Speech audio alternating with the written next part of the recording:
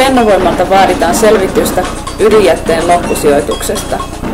Todellisuudessa mitään varsinaista ratkaisua Fennovoima ei kykene esittämään ainoastaan toiveita ratkaisuista, kuten toiveita omasta onkalosta. Ihminen ei kykene ottamaan vastuuta ydinvoimasta, siksi se on ajattava alas.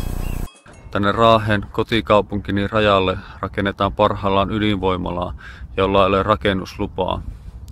Ydinvoimalaa, joka edustaa tulevaisuutta täynnä epävarmuutta ja riskejä. Kun väitetään, että ydinvoima on turvallista, väitetään samalla, ettei maailmassa ole sotia, ettei ihmiset tee virheitä eikä luonnonkatastrofeja tapahdu. Miksi me valitsisimme tulevaisuuden pelossa, kun meillä on parempiakin vaihtoehtoja?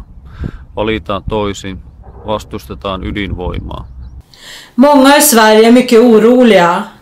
Det är så nära till oss. Hittills har styrande i 12 svenska kommuner sagt nej till planerna. Bottenviken är ett värdefullt och ett extremt känsligt innanhav.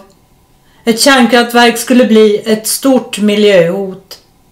Vi vädjar till folkvalda i både Finland och Sverige att stoppa Fennovoimas fullskaliga miljöexperiment med vårt gemensamma Bottenviken. Vi kräver att finska och svenska regeringarna upptar förhandlingar om denna ödesfråga.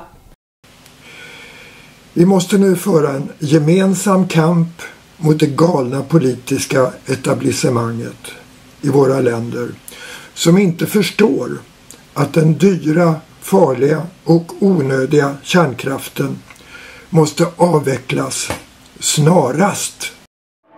Hello, my name is Andrey Ozharovsky. I'm a nuclear scientist from Russia and I'm an uh, anti-nuclear activist. I don't like nuclear energy and you know why. Nuclear energy is not safe, nuclear energy is not cheap, nuclear energy is not reliable. So I invite you to come here on Wednesday at 1 to protest against the Fennovoima Rosatom deal. Just come here to show that you don't buy the lie of nuclear industry.